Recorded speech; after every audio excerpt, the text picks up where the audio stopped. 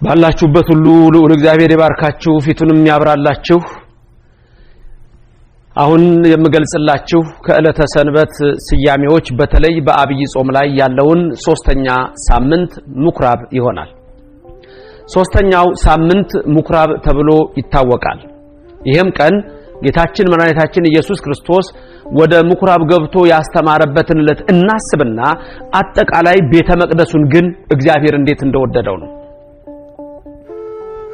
በዚህ ሳምንት ውስጥ እነሆ አጠቃላይ የሚገለጸው የቤተ ክርስቲያናችን ትምህርት ምኩራቡን፣ የጸሎት ቤቱን፣ መቅደሱን እግዚአብሔር እንዴት እንደሚወደው በመጀመሪያ እግዚአብሔርን ያመሰግን ዘንድ ቦታ ለይቶ መካነ ቀኖና፣ መካነ ንስሐ፣ መካነ ጸሎት አድርጎ አዳምን እንሆ ነበረ ከሚስቱ ከሔዋን ጋር ከልጆቹ የሚጸልይ ነበረ። ያ ሲወርድ ሲዋረድ መጥቶ ከዛ በኋላ እነሆ ሙሴ ለእግዚአብሔር ማደሪያ ድንኳን እንዳደረገለት እናውቃለን። የመገናኛው ድንኳን ተብሎ ይጠራል። ከዛ በኋላ እግዚአብሔር እንደፈቀደ በቀዳማዊ ነገሥት ምዕራፍ አራት ላይ እንደምታዩት እነሆ ለእግዚአብሔር ማደሪያ ለቃል ኪዳኑ ታቦት የዳዊት ልጅ ንጉሥ ሶሎሞን እነሆ መቅደስን ሰራለት። እግዚአብሔር በመጀመሪያም ትእዛዝ ሲሰጥ ለሙሴ እንዲህ የሚል ቃል ነግሮት ነበረ። ኦሪት ዘጸአት ምዕራፍ 25 ቁጥር 8 እና ቁጥር 9 ላይ ስትመለከቱ በተለይ ቁጥር 8 ላይ ምን ይላል? የሰራዊት ጌታ እግዚአብሔር ስሙ ለዘላለም ምስጉን ይሁንና በመካከላችሁ አድር ዘንድ መቅደስን ስሩልኝ ይላል እግዚአብሔር። ልብ በሉ። በመካከላችሁ አድር ዘንድ መቅደስን ስሩልኝ። ማን ነው መቅደስ እንዲሰራለት የፈቀደው? ራሱ እግዚአብሔር ነው። ስለዚህ ሙሴ መገናኛውን ድንኳን ሰራ። ሲሰራም ደግሞ ምን ብሎታል? እኔ እንደማሳይህ እንደ ሰማዩ መቅደስ ብሎታል። ስለዚህ ምድራዊ መቅደስ ሰማይ ባለው አምሳል በሙሴ ድንኳን ተሰራ። ሶሎሞን ንጉሱ ቤተ መቅደስን ሰራለት። ይህም እነሆ ከዛ በኋላ ከባቢሎን ምርኮ በኋላ ፈርሶ በአሶራውያን እና በባቢሎናውያን እነሆ ቆሽሾ የነበረውን እግዚአብሔር እንደገና ቀድሶ እነ ዘሩባቤል ቅጽሩን ሰርተው እንደገና እግዚአብሔር ቤቱን ቀድሶ ባረከው። ምኩራብ ተብሎ በሚታወቀው በዚህ ሶስተኛ ሳምንት የሚነገረው ቃል በዮሐንስ ወንጌል ምዕራፍ ሁለት ላይ እንደተጻፈው የቤት ቅናት በላኝ አንገበገበኝ የሚለው በማቴዎስ 21 ላይ ተጽፎ እንዳለው ነው። መድኃኒታችን ኢየሱስ ክርስቶስ በዚህ ቀን ወደ ምኩራብ ገባ።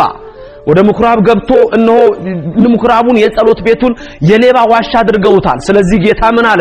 ጅራፍ አበጅቶ አስወጣ።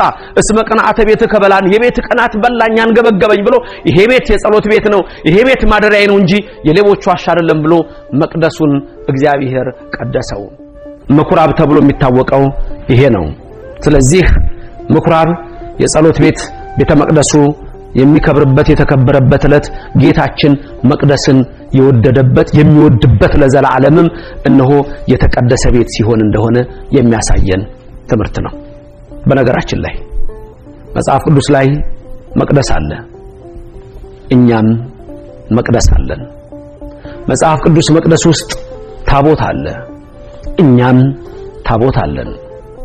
በመጽሐፍ ቅዱስ መቅደስ ውስጥ ካህናት አሉ፣ እኛም ካህናት አሉን። በመጽሐፍ ቅዱስ ውስጥ መቅደስ ውስጥ ጽና አለ፣ እኛም ጽና አለን። በመጽሐፍ ቅዱስ ውስጥ መቅደስ ውስጥ ዕጣን አለ፣ በእኛም መቅደስ ውስጥ ዕጣን አለ።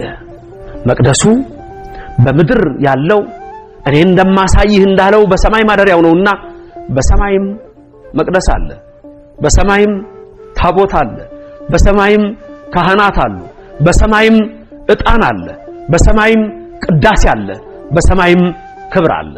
ዛሬም በኦርቶዶክስ ቤተክርስቲያን ውስጥ ይሄ አለ። በሌሎች ዘንድ ግን ታቦት አለ፣ ጽና አለ፣ ዕጣን አለ፣ ካህን አለ። ወገኖቼ ያላችሁበትን እምነት እወቁት። ያላችሁባትን ቤተክርስቲያን ተረዱ።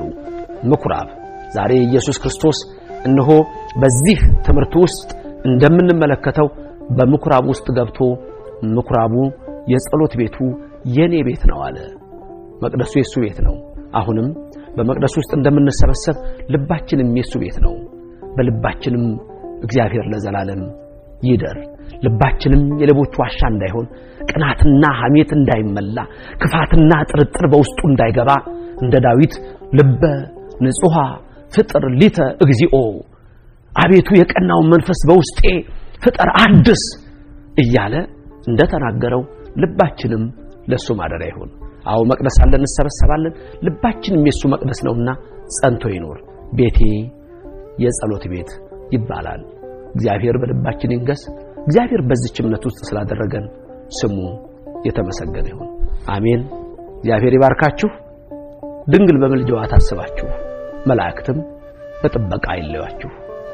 አሜን።